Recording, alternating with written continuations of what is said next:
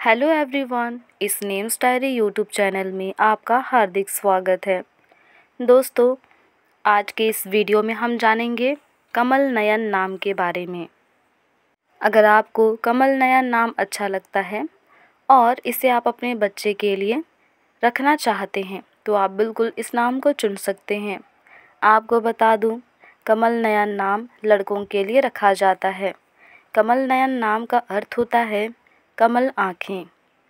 कमल नयन नाम के लोग बिल्कुल अपने नाम के अर्थ के समान ही होते हैं। इनकी आँखें बेहद खूबसूरत होती हैं।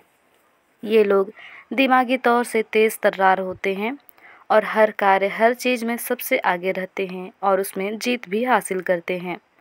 इनका धर्म हिंदू धर्म होता है। इनकी लंबाई छः फुट होती है। इनका शुभ अंक सात और राशि मिथुन होती है।